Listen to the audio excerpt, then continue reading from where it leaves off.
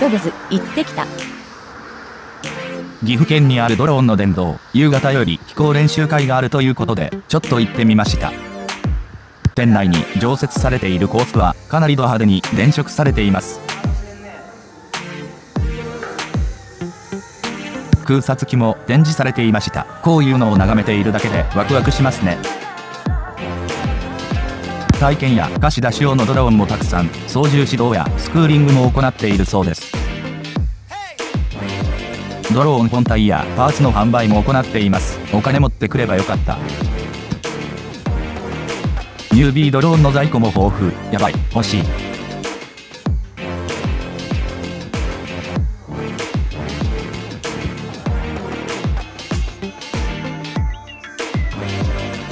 本日は自由にドローンを飛ばせる練習会かなり頻繁にイベントを開催しています。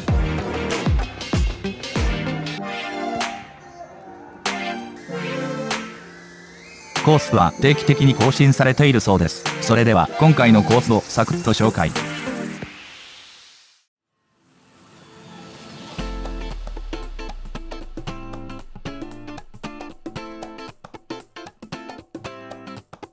タートゲートを抜け、2段ゲートの下側をくぐっていきます。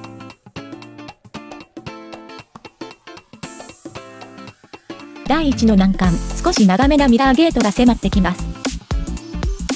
今度は2段ゲートの上側をくぐっていきます。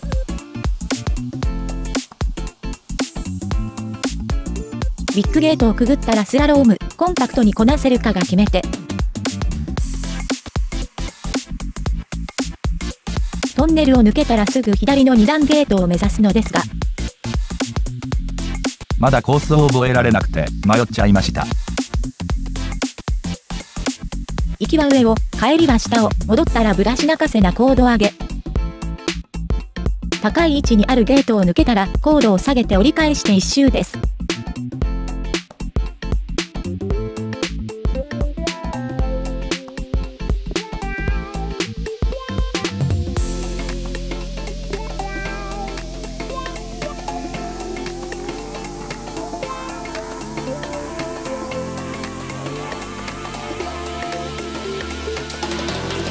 なかなか理想のラインが見出せず、ミスも目立って苦戦しました。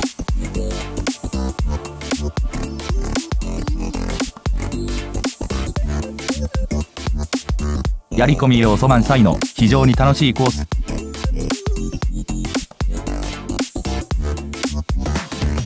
ここに通えたら楽しいだろうなと、ちなみに能登から車で3時間でした。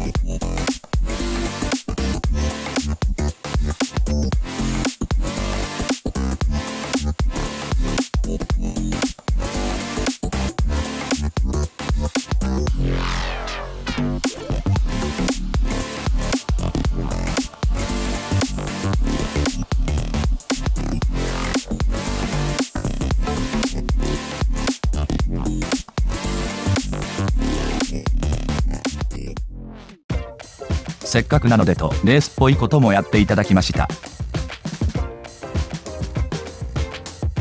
相手のミスで追い抜きましたね。このままノーミスで逃げ切りたいところ。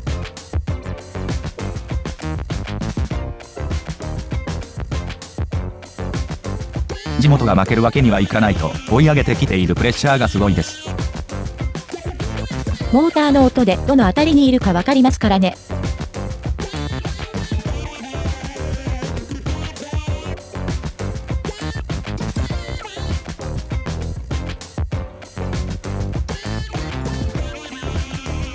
あらら、あっけなく追い抜かれてますね。焦らず追い上げたいところ。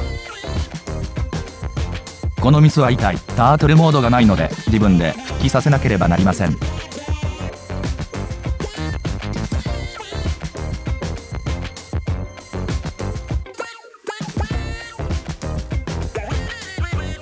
もう、グダグダですね。しょうもないミスを連発しています。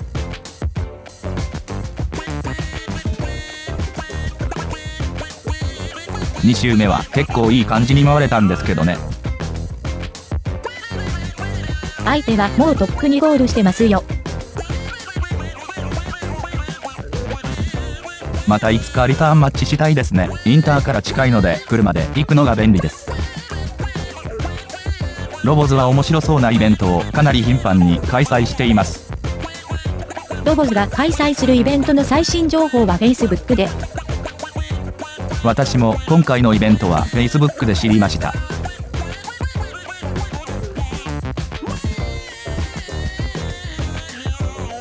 気まぐれで急に押しかけたのに、皆さん親切に相手していただけてよかったですね。ご視聴ありがとうございました。